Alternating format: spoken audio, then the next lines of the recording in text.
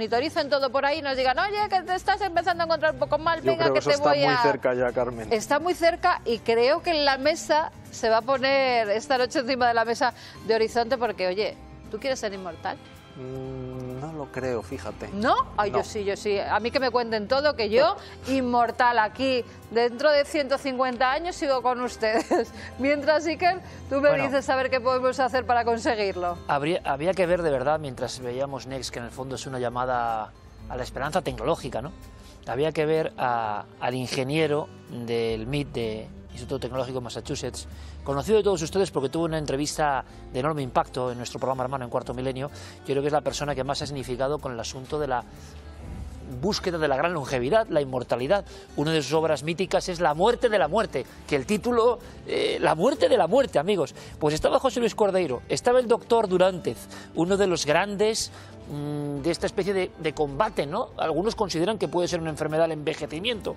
Estaba Durantez, estaba Cordeiro y estaba Ángel Niño. Hola Ángel, buenas noches Buenas noches, Iker. alucinando con Next porque tiene mucho que ver con todo esto. Eh, profesor Cordeiro, qué alegría volver a verte, de verdad, muchísimas gracias. Tú le dijiste a Ángel Niño en un congreso que estuvisteis, tú tienes frases muy de titulares, muy tremendos. Oye Ángel, te lo dijo, ¿verdad? A lo mejor, ¿qué te dijo el doctor? Eh, recuerdo cuando nos vimos hace algunos meses que me decía Ángel, tú vas a ser inmortal. Así me lo dijo. Pero claro, si él es más joven que yo y yo pienso ser inmortal, pues muy fácil. Pero no solo eso, tú eres un viejo hoy en día, porque en 20 años el objetivo es el rejuvenecimiento biológico, de manera que en 20 años nos vamos a acordar de lo viejo que éramos hoy. Pero así de claro, profesor. Pero si se está trabajando en rejuvenecimiento biológico, hay ya experimentos con animales, eh, de células, de órganos y pronto de animales enteros. Desde que estuvimos en el programa hace cuatro años... Que vaya, vaya impacto, ¿eh? ¿Te acuerdas? Claro, claro, claro. Y, y han pasado cosas espectaculares. Desde la última entrevista que yo, ¿cómo pasa el tiempo, profesor? Hace cuatro años. No había Cor- salido mi libro todavía. Vino Cordero, ahí tienes tus obras, que yo recomiendo desde luego. Vino Cordero, dejó a la audiencia así, y me cuentas que en cuatro años han seguido pasando cosas en relación a lo que ya profetizabas un poco. Claro, y cada vez más rápido.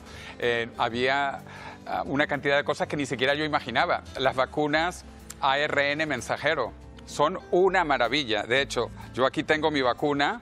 Esta es la vacuna BioNTech Pfizer, que esto es una maravilla. Esto era impensable hace tan solo cinco años. Cuando hicimos la entrevista, impensable. ¿Qué más cosas para la inmortalidad? Bueno, pero sobre esto, déjame que te diga, ¿Sí? porque esto es tan increíble, además de que el cambio es exponencial, eh, las vacunas antes tomaban décadas, esta vacuna se ha hecho en dos semanas, se secuenció el virus y en dos días se diseñaron las vacunas, dos días para diseñar las Pero vacunas. eso no nos va a hacer más inmortales. ¿Qué nos va a hacer No, claro que inmortales? sí, porque ahora se está trabajando con esta tecnología ARN mensajero para tres cosas que parecen eh, increíbles. Una, eh, malaria.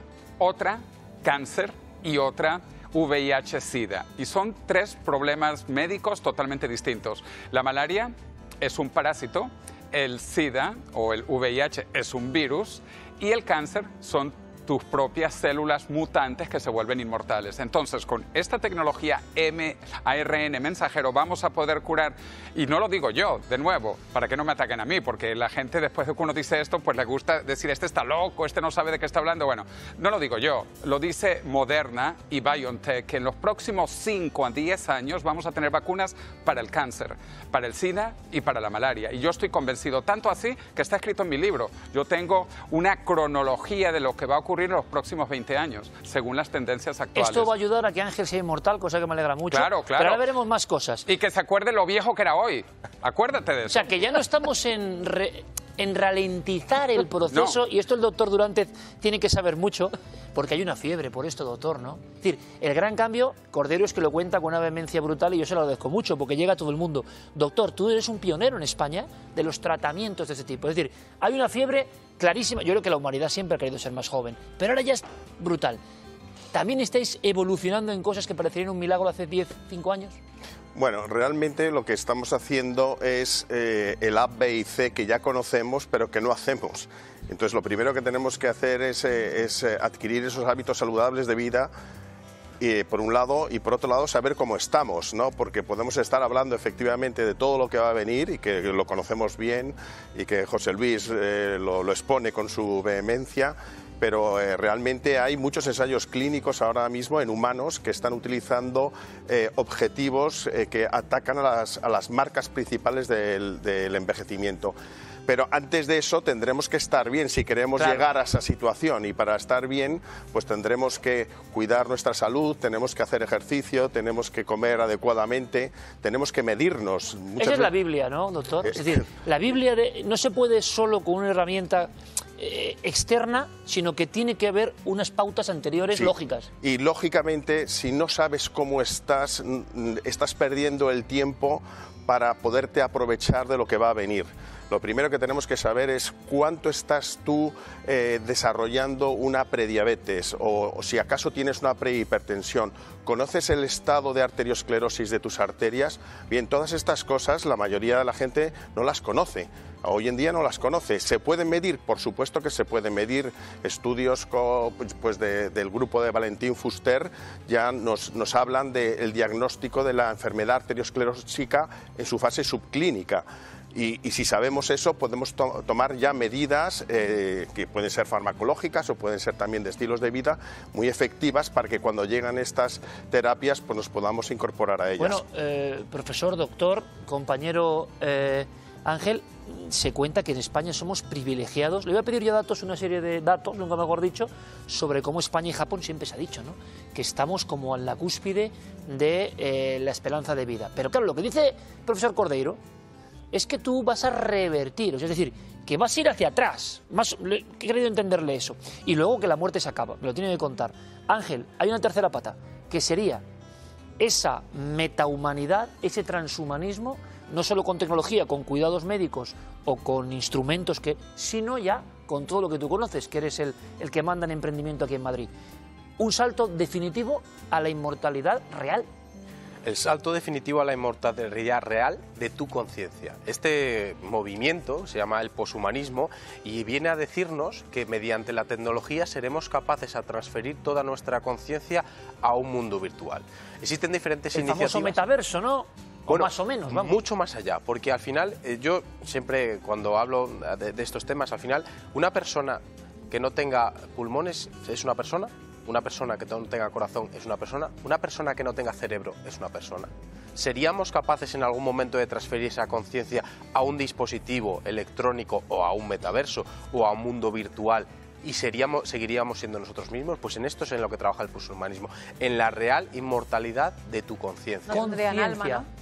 de tu conciencia Porque no o de tu tendrías el alma. tendrías el corazón, Bueno, lo que sea. el... Al final, sea. Cualquier pensamiento que pasa por nuestra mente no deja de ser una, electroestimulación química del cerebro que tiene una serie de respuestas. Y esto, que parece tan loco, tan alejado de la realidad, te quiero poner un ejemplo de lo que es ya una realidad. En enero febrero de este año, Microsoft ha patentado los primeros chatbots mediante inteligencia artificial, en los, Los primeros, cuales perdóname. chatbot, un Que un chatbot es poco trancazo, ¿no? Sí, es que esta mañana he tenido una mañana intensa. Eh, los primeros chatbots son cuando tú te conectas Chatbot, a una sí, página web, eh, el Sí, chatbot que te habla. Pues los primeros chatbots con inteligencia artificial que utilizando tus datos de las redes sociales y tus datos del móvil, de la información que has tenido, pretenden crear una copia virtual de ti para que cuando no estés en este mundo, ese chatbot te sustituya y todos tus seres queridos hablen con ese chatbot como si fueras tú. Wow, pero eso no sé si me da miedo o no. Miedo. Yo de momento voy a ver al profesor Cordeiro la recomendación. ¿Por qué la muerte se acaba, en tu opinión, y las obras que has hecho? ¿Por qué? Bueno, la muerte en realidad nunca va a acabar porque somos seres vivos y podemos morir. Si me cae un piano en la cabeza, yo quedo pianizado. Pero lo que vamos a evitar es el envejecimiento, de manera que la gente pueda vivir indefinidamente joven por todo el tiempo que quiera. Eh, pero repito, la inmortalidad per se es un concepto, de hecho, que lo ha tomado la religión. Entonces, cuando uno habla de inmortalidad ya entra en la religión. Yo no quiero hablar de eso, yo quiero hablar de longevidad indefinida joven. Y eso sabemos que es posible. El Premio Nobel de Medicina del año 2012 fue porque logró rejuvenecer células y eso se llama reprogramación celular. Ahora se está haciendo a nivel de órganos y algo que debería de ser mucho más conocido en diciembre del año pasado, 2020, un científico, un biólogo en la Universidad de Harvard, logró, rejuvenecer ojos de ratones ciegos. Para explicarlo en edad humana, unos ratones de 80 años, equivalentes a años humanos, le puso ojos de 20 años.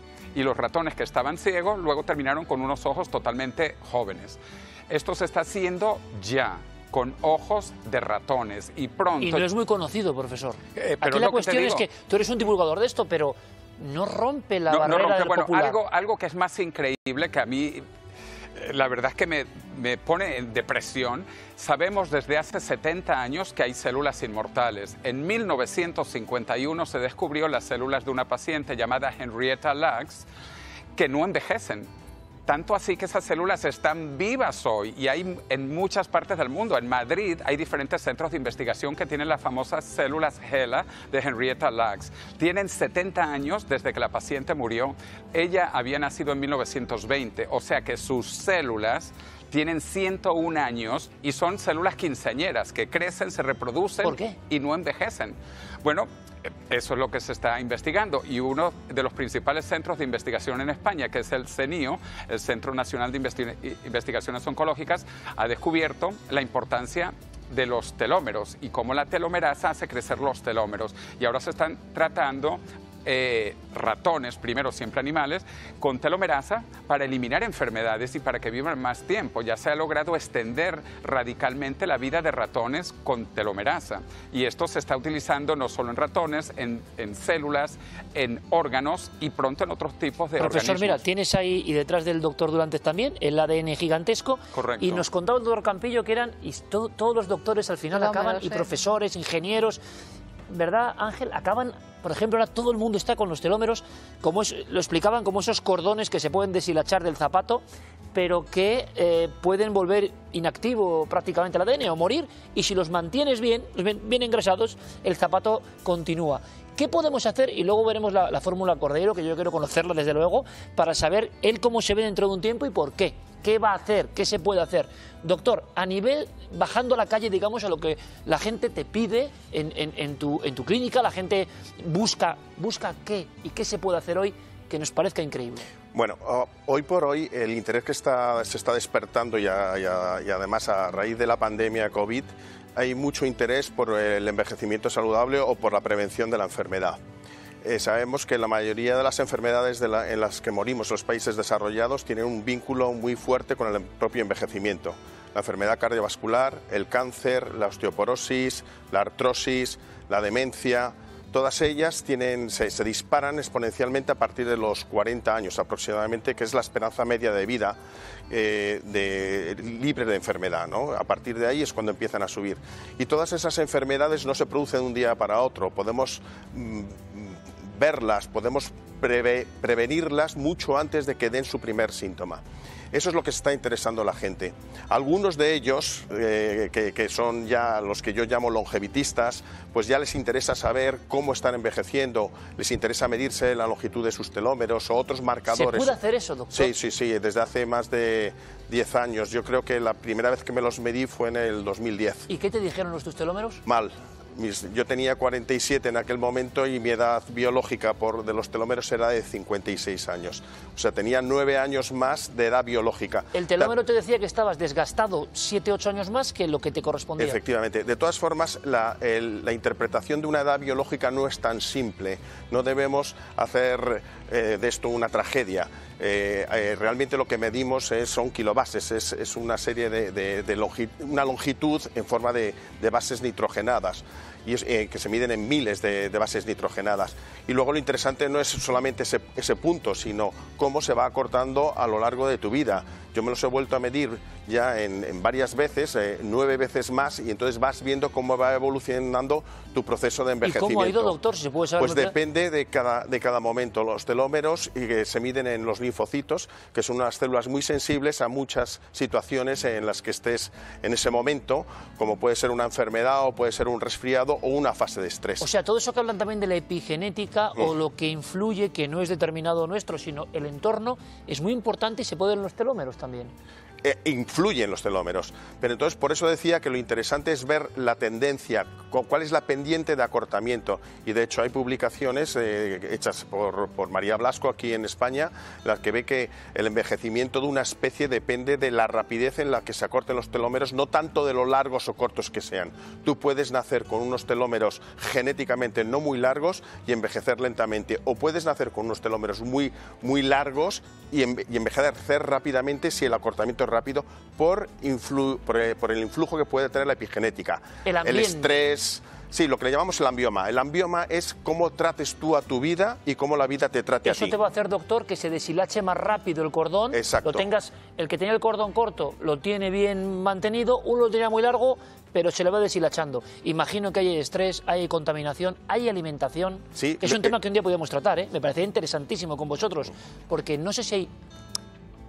Cada, cada X tiempo hay un producto milagro para el envejecimiento, por ejemplo, de suministrarse Sí. de alimento. ¿Eso es tan fácil, no? ¿O qué? Bueno, realmente hay muchos. Ahora mismo están de moda un montón de ellos. Hay senolíticos, hay precursores del NAD, eh, hay antioxidantes. Eh, yo creo que, tenemos que empezar por el ABC, como decía al principio de mi, de mi exposición.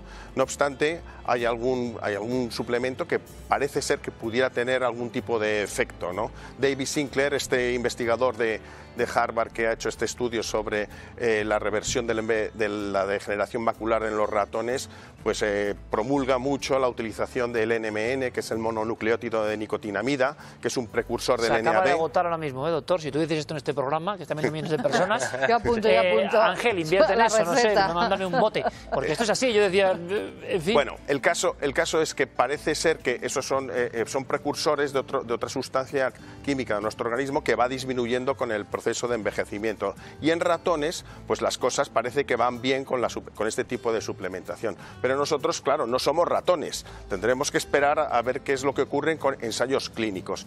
Probablemente a partir del año que viene ya los organismos oficiales sanitarios van a considerar el envejecimiento como una causa de investigación propiamente dicho. Ahora mismo casi todos los estudios que se están haciendo en humanos no se hacen en humanos sanos que envejecen, se están haciendo en humanos enfermos que se les aplican terapias que pudieran ser terapias anti-envejecimiento en un futuro. Pero bueno, eso es un comienzo y casi todos esos ensayos clínicos están en fases iniciales, en la fase 1 o la fase 2. Todavía es pronto. Pocas han pasado ya más adelante y además son ensayos con, con muy, pocos, con muy pocos casos. Fijaos, doctores, la, la- la moda que hay, o el interés lógico, ¿no? Queremos vivir más y sobre todo vivir mejor, ¿no, profesor? Es decir, no vivir más por vivir. ¿Qué has hecho en Madrid? Yo tengo que decirlo, con nuestro amigo Ángel Niño, no solo por el cargo que ostenta, sino es un dinamizador, es uno de los tipos más geniales que yo conozco, emprendiendo, generando cosas, y es raro, en el ámbito de los que manejan es raro encontrarse gente así, sinceramente. Entonces, ¿dispones de que en Madrid haya un congreso Con José Luis, en Transvisión, lo, lo presentamos y presentamos las diferentes tendencias acerca del envejecimiento, del transhumanismo y del poshumanismo.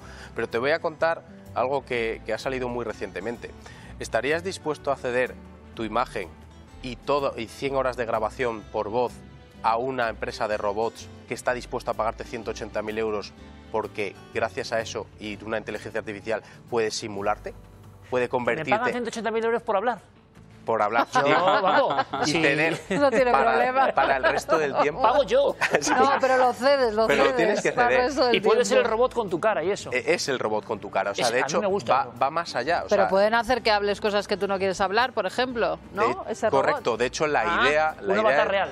De, la idea de Promobot, que se llama en este caso la, la empresa que lo está gestionando, es convertir a humanos reales en humanos e inmortales a través de una inteligencia artificial que ha cogido todos tus parámetros de comportamiento, como ese robot que veíamos Sí. en la televisión que bosteza nada más levantarse. Pero que seas tú. pero que seas exactamente tú, con tu cara, tu cuerpo y tus pensamientos. Qué miedo, y sea no. capaz a simularte a lo largo de toda la historia de la humanidad. Es decir, no podrías morir, pero ¿serías tú o no lo serías? Eh, eh, profesor Cordeiro, vamos a ver. Eh, tú has dicho que tú, eh, que él va a ser viejo y que tú, tú, tú ¿cuál va No, a ser no, tu que él plan? es viejo ahora comparado con lo que va a hacer. José Luis, hombre. A mí no me diga eso, José Luis. Oye, no es broma, yo, a mí todo el mundo me pregunta, en fin, yo voy a contar cosas, pero yo es verdad que nosotros tomamos, a- alguien nos dijo Un cóctel, un cóctel. Un cóctel, un cóctel. Cóctel de- Que luego voy a preguntar al profesor Durantes porque es un poco secreto. Lo contamos en tu canal. Bueno, me lo dijo Dragó, hay que decirlo así. Sí, en su día sí, lo dijo sí, Dragó, pero luego se fue transformando. Claro, Dragó lo ves como con 80 y pico años, que digo, siempre "Eh". ha estado con la medicina Eh, china y con la y japonesa. Yo se lo recomiendo con- a muchos amigos y les Sí. funciona. Pero claro, eso es real, ¿no? La receta del profesor Cordeiro, después de todos esos libros, después de el, la- la- el optimismo enorme de que vamos a, a vivir mucho más tiempo que ninguna generación ha soñado, ¿y cómo te ves en el futuro, profesor? ¿Tú qué vas a hacer? ¿Qué, qué, qué, qué medidas vas a tomar?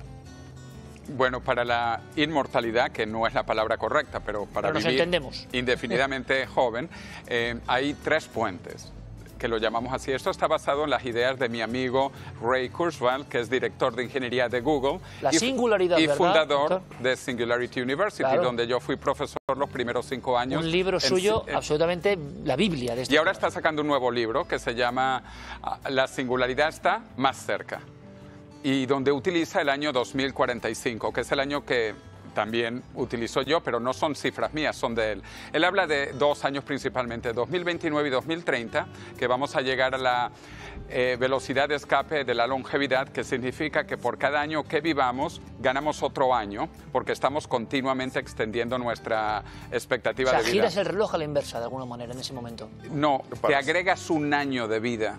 O sea, si tú llegas al año 2030, por haber llegado ahí, ya ganas un año. Y luego con ese año vas ganando otro año, pero todavía envejeciendo. Y en el año 2045 es cuando vamos a tener las tecnologías de rejuvenecimiento. Para llegar allá hay tres puentes.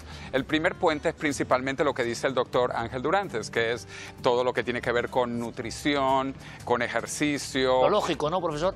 Con eh, meditación, ambiente, dormir, etcétera. Esto es el primer puente, que es, fue en la década de los 2010. En esta década de los 2020 entramos en los primeros tratamientos de biotecnología que ya están apareciendo. Como mencionó, los senolíticos. Los senolíticos no existían hace cinco años, tanto que la gente no sabe qué es. ¿Sabes qué son los No. senolíticos? No. Bueno, tranquilo que no lo sabe el 99% de la gente.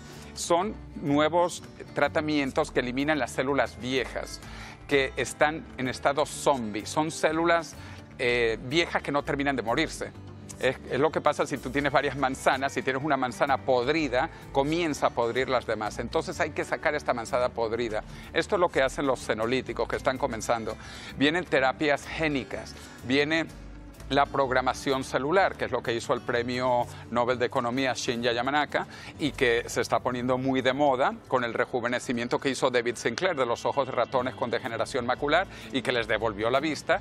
Y lo que está haciendo ahora nada más y nada menos que el hombre más rico del mundo, que es Jeff Bezos. Jeff Bezos ha creado junto con otro grupo de multimillonarios, billonarios, eh, una compañía que se llama Altos Labs, Altos Laboratories, comenzando con 10 científicos, de los cuales dos son españoles, y les ha multiplicado el salario por 10, por 10.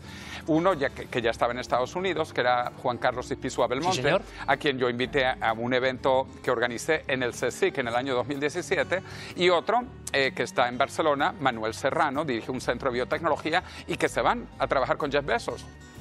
¿Por qué? Porque hoy sabemos que es posible revertir el envejecimiento. Premio Nobel de Economía 2012. El, rejuveneci- el- el, eh, rejuvenecimiento es posible. Es tan posible que se está haciendo ya. Pero hay que llegar a esa barrera, profesor. 2030, Claro. Entre 2030 y 2045. Correcto, correcto. Entonces, 2030 los primeros tratamientos ya pasamos de la biotecnología a la nanotecnología y luego finalmente con la inteligencia artificial vamos a llegar a la inmortalidad. De hecho, la inmortalidad no va a ser solo una, va a ser doble. Vamos a tener la inmortalidad del hardware, la inmortalidad biológica y la inmortalidad del software, que es de lo que hablaba Ángel, que es la inmortalidad computacional, la inmortalidad informática, la inmortalidad de nuestra mente. Y vamos a subir nuestra mente a la nube o a Eso lo que, que tú nos quieras. parece era increíble, eso, Ángel, va a ocurrir. Eso va a ocurrir y además eh, es tan cercano lo que deberíamos pensar que va a ocurrir que uno de los puntos de los que ya se habló en esa iniciativa, eh, Proyecto Avatar, iniciativa 2045 que comenta José Luis,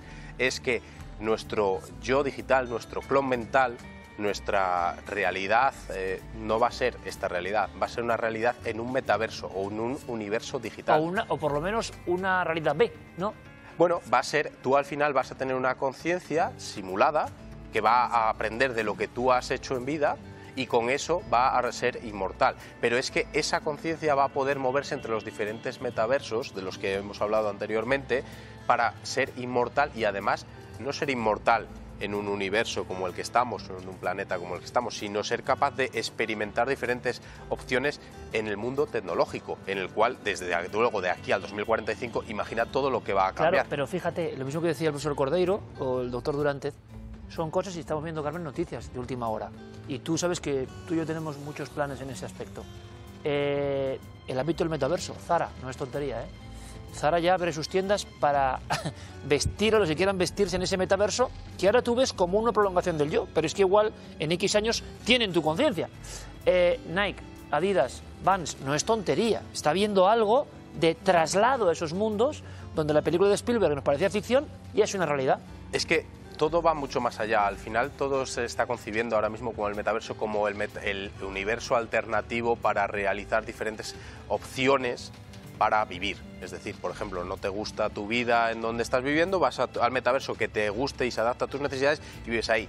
Pero, ¿y si fueran capaces de pasar la conciencia a un metaverso, a un rollo Altered Carbon, que es una, una muy buena obra en este sentido, y, y seas capaz a vivir eternamente en el metaverso? ¿Cuánto costaría eso? Con tu pensamiento, con tu que se ha mantenido. que se ha mantenido y ha aprendido a través de una inteligencia artificial, porque lo importante de todo esto es que si se consigue desarrollar la inteligencia artificial necesaria, que a día de hoy todavía no se ha conseguido, porque hablamos de inteligencias artificiales que no han llegado a ese punto, si se consigue desarrollar esa inteligencia artificial, como promete este proyecto 2045, con todos tus pensamientos, con esas horas de grabación, con tus movimientos, es que no va a existir una diferencia entre tú y él. Y ahí, pues, Eh, es donde está el gran dilema. Doctor Durantez, eh, ha mencionado el profesor Cordeiro una cosa muy interesante. En todo esto que es tan tecnológico, de repente ha mencionado la primera puente y ha dicho meditación.